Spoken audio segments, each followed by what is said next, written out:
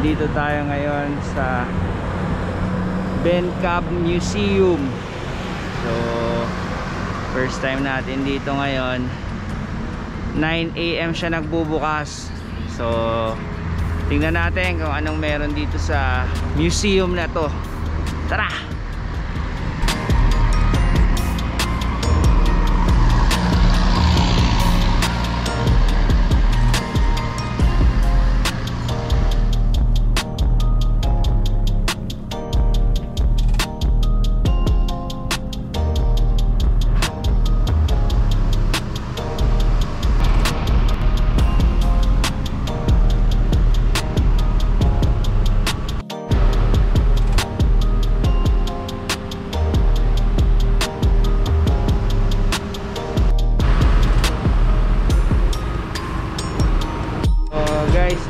Tayo. 9am siya magbubukas.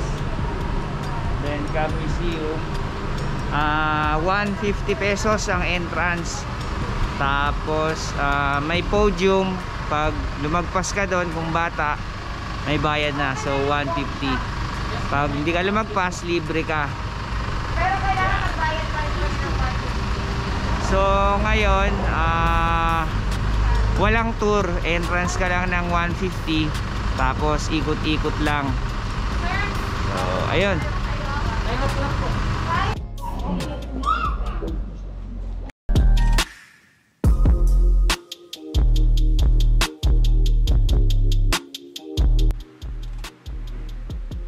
Ang Bencab Museum ay isang art museum.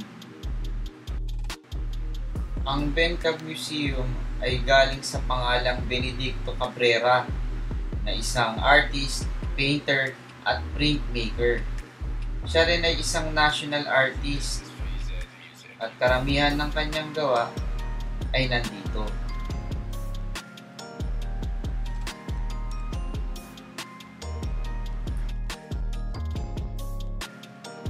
Ang museum na to ay nahati sa mga galleries. Bencab Gallery, Maestro Gallery, Pacho Salvador, Cordillera Gallery, Erotica Gallery, Darawan Hall, Philippine Contemporary Art Galleries, Print Gallery, and Sepsia Gallery.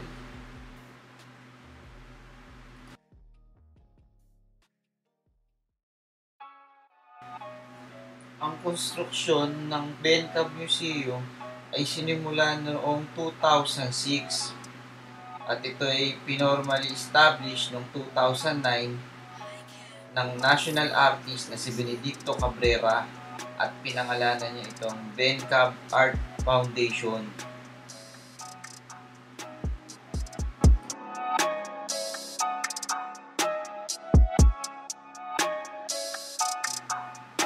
Papakita ko sa inyo ngayon ang iba't ibang arts na makikita dito.